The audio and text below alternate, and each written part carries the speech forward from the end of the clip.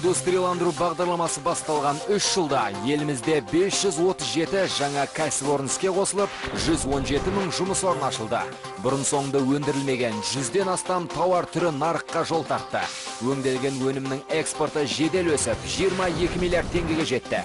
Жаңа индустрияландыру бағдарламасы жүзеге асқан 3 жылда қазақ еліне 50 миллиард тікелей шетел инвестициясы келді. Жаңа бастама берген қарқын әлемдегі қаржы экономикалық тұрақсыздыққа қарамастан еселене түсті. Еліміз алға қойған міндеттерді орындауды тоқтатқан жоқ. Шыныққан отандық экономикада өңдеуші сала, еңбек өнімділігінің көрсеткіштері өсті. Кәсіпорындар заманға лайық жаңартылып, инновация енгізілуде. Нәтижесінде индустрияландыру картасы аясында іске асқан жобалардың тек 2012 жылдың басынан бастап өндірген өнімнің көлемі 771 миллиард теңгеге жетті. Бұл барлық өндірістік өнімнің 5,7 пайызы. Өңдеуші сала өндірген өнімнің 8 пайызы жаңа кәсіпорындарға тиесілі. Өңдеуші сала көрсеткіштері көш бастап тұр. Өткен жылы аталған бағыт 4,3 триллион теңгенің өнімін шығарды. Кәсіпорындарды жаңғырту және жаңа кәсіпорындар арқасында еңбек өнімділігі жоспарланған көрсеткіштерден асып түсті. Жаңа индустрияландыру негізгі салаларға серпін берді. Даму қарқыны бойынша машина жасау ілгерілеп тұр. Жеңіл өнеркәсіп химия фармацевтика даму жолына түсті. Индустрияландырудың алғашқы жылында жаңа 156 кәсіпорын өз жұмысын бастады.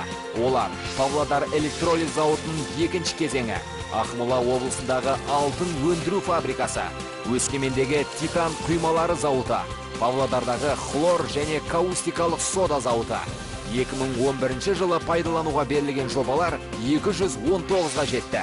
Олардың қатарында еліміз оңтүстігіндегі электр қуаты тапшылығын жоюға бағытталған Мойнақ су электр станциясы, жолаушылар және жүк вагондары, автокөлік және автобустар өндірісі, уран және фосфор өндірісіне қажет күкірт қышқылы зауыттары бар. 2012 жылы 162 индустриалды жоба пайдалануға берілді. 27 мың уақытша және тұрақты жұмыс орны ашылды. индустрияландыру саясатын сауатты жүзеге асыру үшін елімізде құқықтық база нығайтылды. Жаңа үш заң қабылданып қолданыстағыларына өзгерістер мен толықтырулар енгізілді. инвестиция тарту мен қуат үнемдеуге бағытталған ұлттық жоспарлар жұмыс істей бастады. Бұл қолдау шараларын ұлғайтып жүйелеуге жол ашты. Олардың саны бүгінде жүзге жетті. Оған қоса әкімшілік кедергілер 30 пайызға азайтылып инвесторлар мен жаңашылдарға қосымша жеңілдіктер берілді. Индустриалды жобаларға қажет инфрақұрылым бүгінде мемлекет есебінен қаржыландырылады. Соңғы есептер бойынша 400-ден астам инновациялық өндіріс 1500-ден астам шикізаттық емес экспорттаушы кәсіпорын. Бизнестің жол картасы бойынша 2500 кәсіпорын мемлекет қолдауына ие болды. Қазір 44 кәсіпорын өнімділік 2020 қайта жаңғырту бағдарламасына қатысады. Өңдеуші саладағы инвестицияның үштен бір бөлігі индустрияландыру бағдарламасы іске қосылған үш жыл ішінде келді.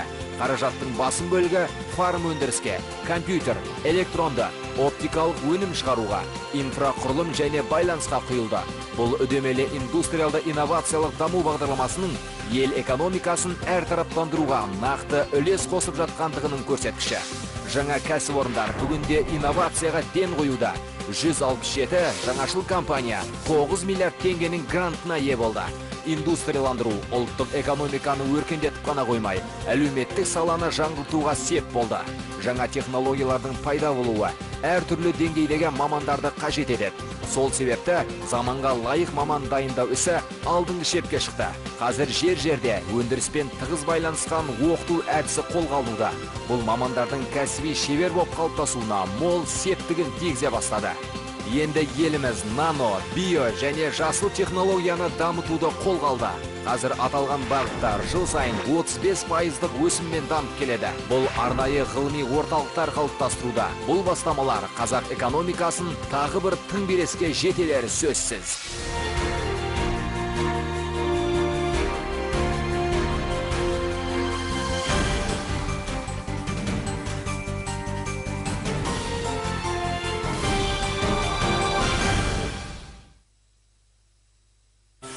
Саламатты қазақстан. Бұл ана мен бала денсаулығының кепілі. Бүгінде осы саланы дамытуға дүние жүзіндегі озық технологиялар енгізілуде. Нәтижесінде үш жылда ана өлімі үш бүтін оннан жеті есеге бала өлімі 25 пайызға азайды. Эко экстракорпоральды ұрықтандыру қызметі. Тегін медициналық көмектің кепілдік берілген түріне енгізіліп циклдар саны үш жылда алты есеге артты. Аурудың алдын алу жұмыстары тұрақты жүргізіліп келеді. Тмд да еліміз алғашқы боп жеті өңірде 450 мың баланы пневмокок жұқпасына қарсы етті. Жаңа туған сәбилер хирургиясы қарқынды дамып күрделі операциялар сәтті жасала бастады.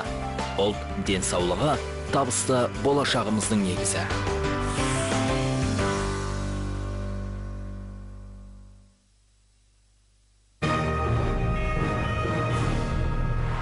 Қазақстан ел аумағындағы барлық ұлт пен ұлыстың татулығына негізделген саясатты ұстанады. Бұл тәжірибе дүниежүзілік қауымдастықтың қызу қолдауына ие болып, өзгелерге үлгі болды. Қазақстан Еуропадағы қауіпсіздік ынтымақтастық ұйымына төрағалық еткен кезінде өзінің көшбасшы екендігін және Қазақстан мен басқа аймақтардағы бейбітшілік, ұлтаралық татулық, тұрақтылықты басты назарда ұстанатындығын дәлелдеді.